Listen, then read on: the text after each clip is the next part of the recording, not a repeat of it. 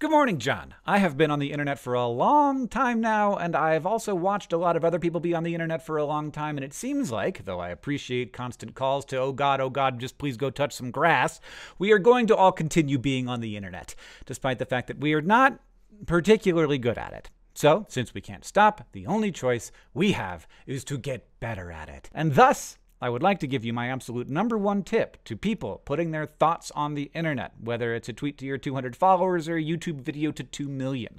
A piece of understanding that absolutely every early creator, including myself, gets wrong, and that I have seen result in the end of a bunch of careers before it was time for them to end.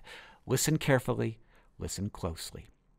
If you make something that reaches a very large number of people, you will hear every single conceivable thought, reaction, and opinion that a human person in our culture could have.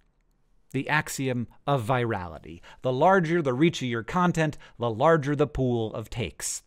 This is just a statistical fact. Any piece of content has a potential pool of thousands of reactions people could have to it, but some of them are extremely uncommon. Now, the most common ones are probably the ones that you will see first, though, of course, there's always a chance that you'll get an uncommon one first, which would be great if they were Pokemon cards, but they're not.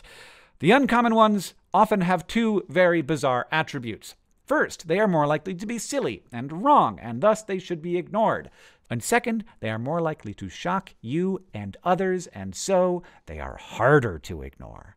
And so, People reply to them and they engage with them, which many modern algorithms see as increasing engagement, increasing the time you're spending on the platform, and thus the less common, worse opinions are often intentionally promoted.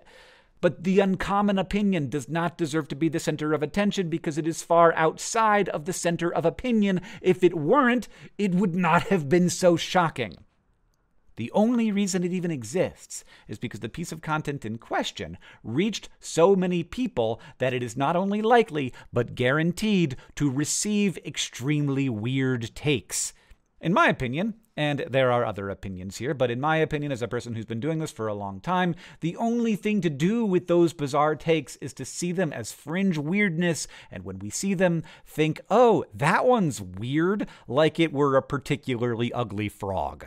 Some reactions are impossible not to harp on, not to be disturbed by, even, and the pool of potential takes is different for different creators, which makes this job harder for certain kinds of people.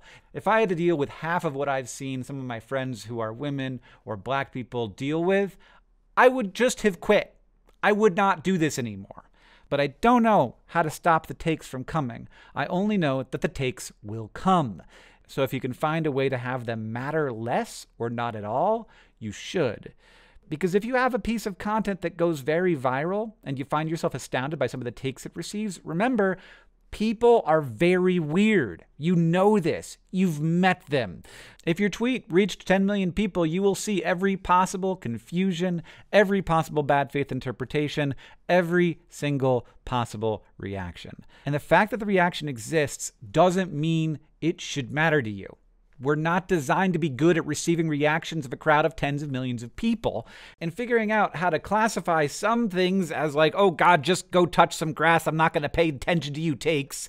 And the ones that are legitimate, useful criticism that I should be paying attention to is honestly possibly the hardest part of this job. I've been doing it for a very long time and I'm still working at getting better at it. But one thing I can say to every creator out there the mere fact that a take exists does not mean that it is worthy of even one neuron of your brain focusing on it. John, I'll see you on Tuesday.